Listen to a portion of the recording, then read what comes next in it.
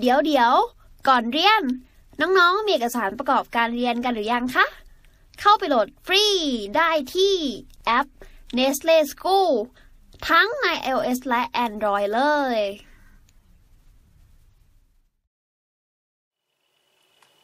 โจทย์ต่อมาเป็นข้อ 92 ในปฏิกิริยา อันนี้เป็นนิวตอนแล้วก็แกมมาใช่ไหม ของนิวเคลียส Ag ก็คือเงิน นิวเคลียสที่เกิดขึ้นใหม่ก็คือ แล้วก็มีช้อยมา อ่าอันนี้ให้วงเล็บมาอีกแล้ว ก่อนอื่นเลยถ้าเกิดเรามีสมการเนี่ยอย่าลืมว่าในวงเล็บเราจะแบ่งครึ่งได้ปึ๊บตัวซ้ายก็อยู่ฝั่งซ้ายของสมการ ตัวขวาก็อยู่ฝั่งขวาของสมการ ซึ่งตัวซ้ายมันจะเป็นนิวตันใช่ไหมก็จะเป็น n หนึ่งศูนย์ส่วนตัวขวาจะเป็นแกมมาแกมมาเนี่ยไม่มีเลขมวลไม่มีเลขอะตอม ก็คือไม่มีมวลเลย เป็นแค่รังสี ของนิวเคลียส Ag ซึ่ง Ag มันต้องเป็นฝั่งซ้ายหรือฝั่งขวา ต้องเป็นฝั่งซ้ายใช่ไหม เพราะว่าเขาถามนิวเคลียสที่เกิดขึ้นใหม่ นิวเคลียสที่เกิดขึ้นใหม่ก็คืออยู่ฝั่งขวา เขียนแทนเป็น x ละกัน แล้วก็ AG เนี่ยต้องอยู่ฝั่งซ้าย ก็จะเป็น AG ร้อยเก้าสี่สิบเจ็ด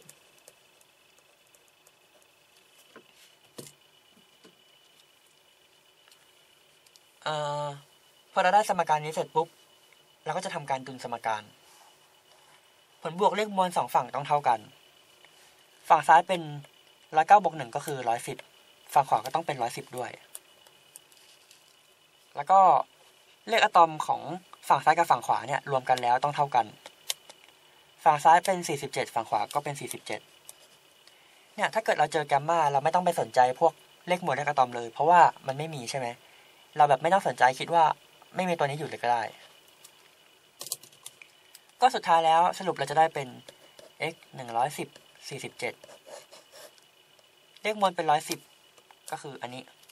เลขอะตอมก็จะเป็น 47 สรุปก็คือได้ออกมาเป็นธาตุเดิมใช่ไหม แต่ว่าเป็นไอโซโทปกัน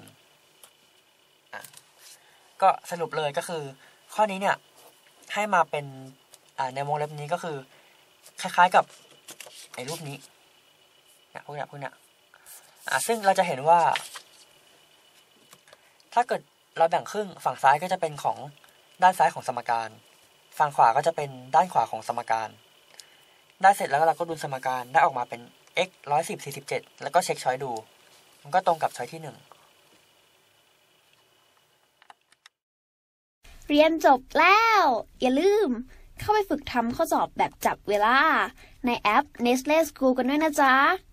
ถ้าน้องๆมีคำถามสงสัย ไม่เข้าใจตรงไหน ถามว่าในแอปได้เลย แล้วพี่ๆจะรีบเข้าไปตอบให้นะคะ กินไอติมวินจีแล้วเป็นเด็กดี ตั้งใจเรียนกันนะคะ